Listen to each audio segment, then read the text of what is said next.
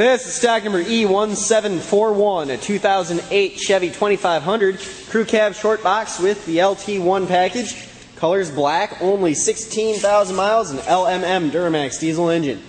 These Bridgestone Duravis M773 2 tires have about 65-75% of the tread, and it's a one-owner vehicle with a clean Carfax.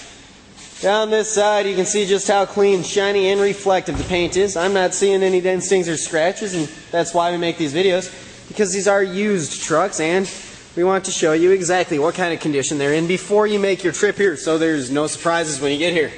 Paint looks great, and underneath, frame and underbody very clean all the way back. Just a hint of rust or corrosion peeking through the undercoating right there, which is very common for these vehicles. Rear tires about the same amount of tread as the fronts, between 65 and 75 percent. And around back, rear bumper and tailgate in good shape. Hitch, transmission cooler, and wiring is part of the towing package. And in the bed itself, a drop-in bed liner in excellent condition. Down this side, again, nice clean shiny paint. No dents or dings, no major scratches over here either. Hood's nice and clean too.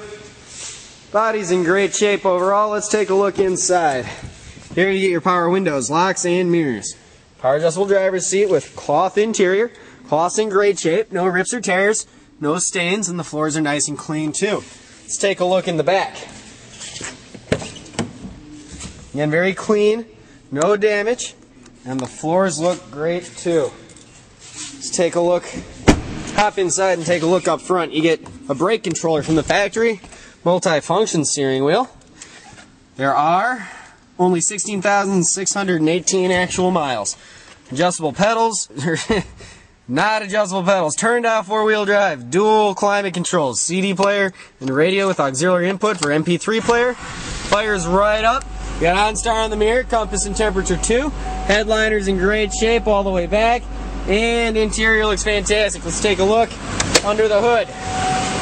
Rear view mirrors are signal pull out tow mirrors.